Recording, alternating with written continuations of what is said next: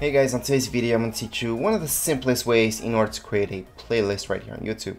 So let's just click on any of the YouTube videos that you guys want to bring into a new playlist or create a new playlist. So I have this video right here and I'm just going to tap on save which is on the right hand side. And once I do that, it's going to automatically save it into my favorites playlist. So we can always tap on change, which you guys saw the pop up there. However, let's say you guys didn't see that just tap on saved again and then we're gonna get a few options. So right now we're gonna see the playlist that we have so we can always change this to this playlist or add it to various playlists. However what we want to do for this video is create a new playlist. So it's to be on top side. We're to see plus new playlist.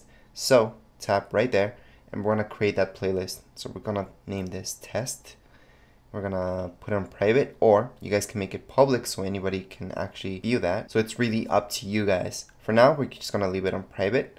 We're gonna create it. And there we go. So right now this video will be saved under that new playlist and we can always take it off anyways. So let's just tap on saved again. And as you guys can see here's my new playlist called test. Take it out. Just tap on that check mark click on done and I'm done. That's so you guys can take out any videos from your playlist and also create new playlists. Anyways, that would be it for this video tutorial. If you guys have any questions, comments, you guys can write down here in the comments area. Don't forget to subscribe and rate. Thank you.